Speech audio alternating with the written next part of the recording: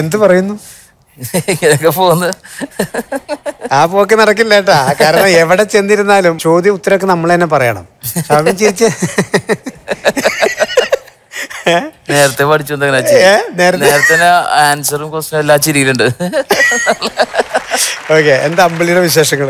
ഞാൻ അതിന്റെ ടീച്ചർ കണ്ടിട്ട് ഭയങ്കര അന്തം വിട്ടു പോയിട്ടാ. ഞാനും അതെ. ആ അതെ കാരണം കാരണം നമുക്കൊരു ഡാൻസർ മൈക്കിൾ ജാക്സൺ നമ്മൾ വിട്ടുപോയപ്പോ അതിനുശേഷം ആര് എന്നുള്ള ചോദ്യത്തിന് ചേട്ടനെ കളിയാക്കണേണ അത് അത് ഒറ്റ ഷോട്ടിലെടുത്താണ്. അതെ. അതിന്റെ ടൈമിംഗ് എന്ന് പറയുന്നത് അതൊരു പെർഫോമർക്ക് മാത്രമേ പറ്റുള്ളൂ ഞാൻ അത് കളിയാക്കി പറഞ്ഞല്ല ഇതിന്റെ ഇടയിലുള്ള വേറൊരു കാര്യം കൂടെ ഉണ്ട്. ഇതിന്റെ ഇടയിൽ ഇപ്പൊ വന്നു ഇറങ്ങി കഴിഞ്ഞിട്ട് നമ്മൾ വിഷ്വലി കാണാത്തോണ്ടാണ് അത് ഇങ്ങനെ ഇരിക്കുന്നത് ശരിക്കും നല്ല കുത്തനുള്ള ഒരു കയറ്റമാണ് അവിടെ എത്തിയപ്പോഴത്തേന് കിതച്ചിട്ട തിരിച്ച് താഴത്തേക്ക് ഓടി തന്നെ നമ്മൾ പോയതല്ലേ അല്ലേ? അല്ല അതിന് വല്ല റിഹേഴ്സൽ വല്ലതും എടുത്തിരുന്നോ? അതിന്റെ ഒരു സ്റ്റെപ്പ് എന്ന് വെച്ചാൽ നമുക്ക് അങ്ങനെ കളിക്കുന്ന ഒരു ഇതല്ലോ. തന്നെ അറിയാം. അതൊരു പെർഫെക്റ്റ് ആയിട്ട് കളിച്ചാൽ അത് ഇതാവില്ല. അങ്ങനത്തെ ഒരു ക്യാരക്ടർ ആയതുകൊണ്ട് അതിന്റെ ടൈമിംഗ് കറക്റ്റ് ആയിട്ട് പിടിക്കാം. മ്യൂസിക്കിനനുസരിച്ച് ബീറ്റ് ആദ്യം ഒരു ഒരു ഊഹം വെച്ച് ഒന്ന് പ്ലാൻ ചെയ്തു. ഒറ്റ ഒരു ടേക്ക് എടുത്തിട്ടുള്ളൂ രണ്ടാമത്തെ അതാ പിന്നെ പറ്റിയില്ല. പോയി കഴിഞ്ഞാൽ പിന്നെ വേറെ പോകും. പ്രകാശ് ഓ. നമ്മുടെ മുത്ത്. പ്രകാശേട്ടൻ മലയാള സിനിമ തുടങ്ങിയ സമയം മുതലുള്ള ആളാണ് അല്ലേ? എന്ത് എന്താ അല്ല ഞാനേ ഞാൻ ശരിക്കും പറഞ്ഞു കഴിഞ്ഞാൽ ഓരോ ആൾക്കാർ ഇപ്പം നമ്മളൊരു പുതിയ ഒരു ആപ്പ് ഇറങ്ങിയിട്ടുണ്ടല്ലോ. ഇത്ര വയസ്സിൽ ഇന്നത് പോലെ ഇരിക്കും എന്ന് പറഞ്ഞിട്ട് ഇപ്പം അത് മുഴുക്ക അതിന്റെ ഒരു കളിയാണ് എല്ലാവരും. എന്നിട്ട് എങ്ങനെയാകും പിന്നെ അറുപത് വയസ്സ് എഴുപത് വയസ്സ് എൺപത് വയസ്സിൽ എങ്ങനെ ഇരിക്കും. പക്ഷേ നമുക്കൊരു ഊഹം വരും. പക്ഷേ ഇദ്ദേഹത്തിനെ ഞാൻ കാണുന്നതെന്ന് പറഞ്ഞാൽ ഒറ്റയാൽ പട്ടാളം എന്ന് പറഞ്ഞ സിനിമയിൽ ഒരു പയ്യനാണ്. അന്ന് ആ വെട്ടുകിളി എന്നുള്ള പേര് വന്നത് അതിന് മുമ്പാണ്. വെട്ടുകിളി. അപ്പം രാജീവ് കുമാറാണ് ഡയറക്ടർ. അദ്ദേഹം നമ്മുടെ കമലിന്റെ കമലിന്റെ എന്നോട് ഇഷ്ടം കൂടാ. എന്നോട് ഇഷ്ടം കൂടാമോ അത് എന്റെ പടം തന്നെ. ഞാൻ അഭിനയിച്ച പടം തന്നെ. അതിനകത്താണ് വെട്ടുകിളി. കോളേജിൽ പഠിക്കുന്ന ഒരു ഒരു പയ്യനായിട്ടാണ്. വെട്ടുകിളി എന്ന് ആ പറയുന്നത് അപ്പോ അല്ലേ? ആ ക്യാരക്ടറാണ്. അപ്പോൾ അത് കഴിഞ്ഞിട്ട് ഞാൻ കഥയുടെ ഡിസ്കഷനിലും കാര്യങ്ങളൊക്കെ വന്നപ്പോഴത്തേക്ക് ഇത് ഈ റോളാരാണ്. അത് നമ്മുടെ വെട്ടുകിളി എന്ന് പറഞ്ഞു.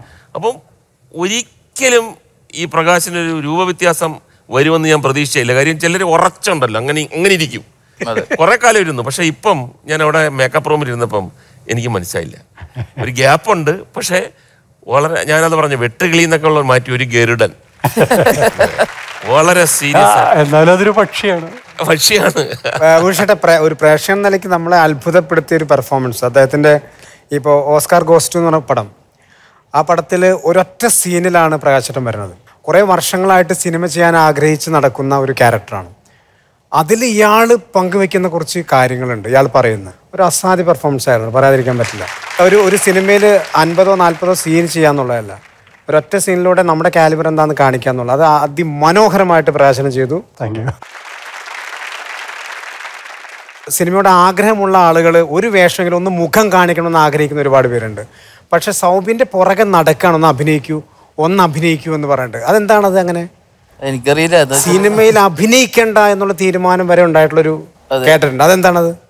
അല്ല ഞാൻ ഡയറക്ഷൻ ചെയ്യുന്നോണ്ട് ആ. കുറച്ചളഞ്ഞ് ഇവർക്ക് ബോറടിക്കുന്നതിന് മുമ്പ് തന്നെ ഞാൻ തന്നെ ഒതുങ്ങി തീർന്ന് ഒരു പടം ഡയറക്ട് ചെയ്തിട്ട് ഇടയ്ക്ക് പിന്നെ അഭിനയിക്കാം. പക്ഷെ അത് നമ്മൾ കേട്ടതല്ല കേട്ടോ. അതായത് സൗബിന് ഏറ്റവും ഇഷ്ടം എന്ന് പറഞ്ഞാൽ സംവിധാനം ചെയ്യുക എഴുതാൻ പറ്റുമെങ്കിൽ എഴുതുക എന്നുള്ളതാണ്. പക്ഷെ ജനങ്ങൾക്ക് താല്പര്യമില്ല. ജനങ്ങൾക്ക് അങ്ങനെ സംവിധാനം അല്ല. അതല്ല.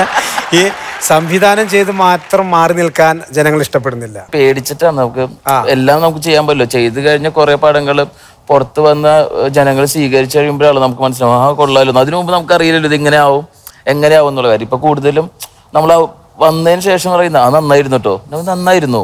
അത് കൊള്ളാലോ. എന്നാ അടുത്തപ്പോ നമ്മൾ ടെൻഷൻ ആയിട്ട് അഭിനയിക്കും. അങ്ങനെ പോകുന്ന കുറെ കഴിയുമ്പോൾ ടെൻഷൻ ആവും. പേടിയാണ് ശരിക്കും. സുഡാനിയിൽ എങ്ങനെ എത്തിയ? സുഡാനി.